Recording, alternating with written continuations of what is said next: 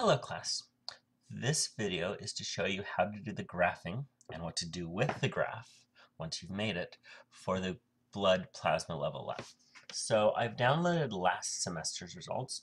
This is the results for glucose. This is the results for cholesterol. This is the results for protein. You're going to make three graphs. One graph for glucose, one graph for cholesterol, and one graph for protein.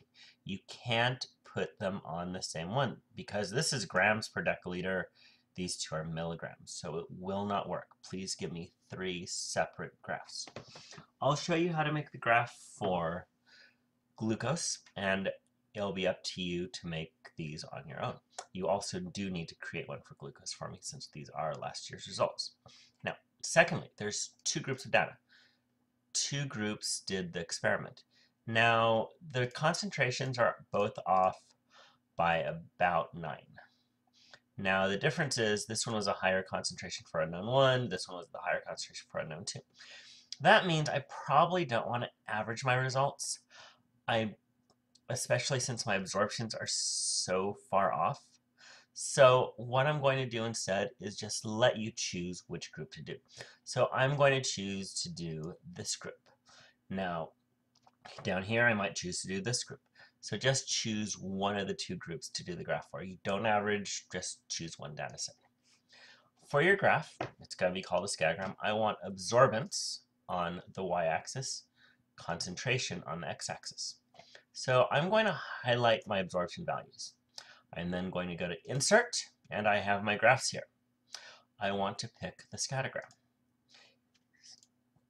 And it produces a scatter plot. Now, if I actually told it to draw a line here, it would draw a line up and then down. That's not what we want. So don't do anything with the line yet. Another problem I have, I don't have units down here. So what I'm going to do is I'm going to just go to this area. I'm going to right click it. Now for those of you with Macs, I believe it is option click. And I'm going to scroll down to select data. So I will I have this screen. I am going to click on the series and I am going to click edit. I'm going to edit two things. Series name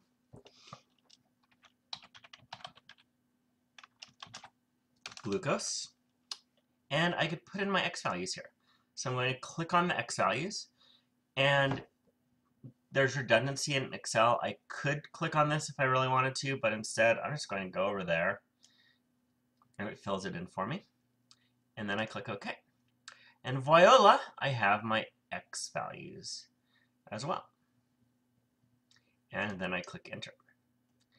And as you notice, all the values got scrunched up right here. So I am going to try to make this graph wider before I copy it. And now the values are a little bit spaced out. Secondly, I want, these are my concentrations down here. I want more data points, so I'm going to go here. I am going to right click. Again, option click for Mac users. Format axis.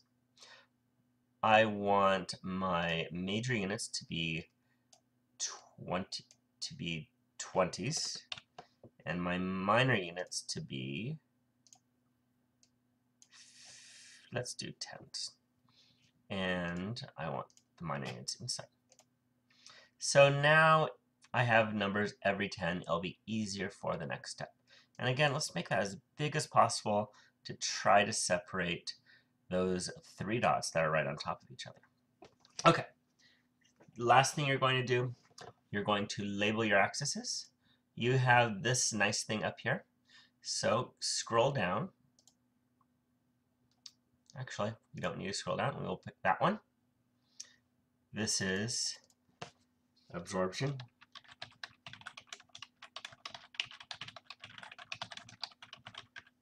For my axis title here, it is, and my axis title here, I click on it. Okay, so the next step you're going to do, copy your graph. I'm just clicking on, so I've unselected my graph, come back, just click on it, select the whole graph, Control C, come over here, Control V. And again, try to make it as big as possible. Now, usually when we do this lab, we get awesome results. So this group right here had very good results. So what I'm going to do is I am going to come over to Insert.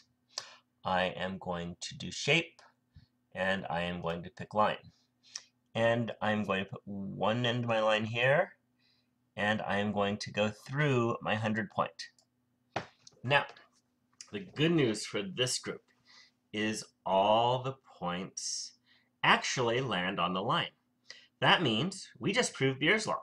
So there's when you're doing the next table on when you're doing your table, you'd basically just put the concentrations from the graph are the same concentrations as Beer's law. Now, let's say that there's a point outside. Let's say that one of my concentrations was 0.06.